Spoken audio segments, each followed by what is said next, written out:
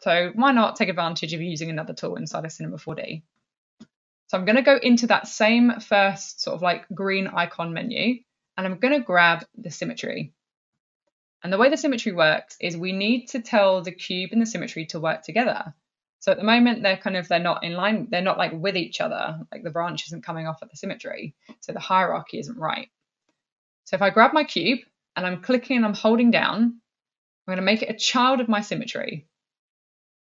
And so we can't see anything yet, and that's because our cube is dead center. But with my cube selected, I can actually move it along and our symmetry is, you know, is is working. It's working. It's using uh, the symmetry tool to create uh, the same object on the opposite side.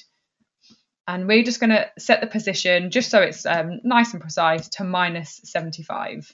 And it's going to do the same thing, but it's going to be positive 75. If we look at our symmetry, we can see our mirror plane is correct because it's set to ZY. But depending on what you're doing, you know, you might need um, one of the different options.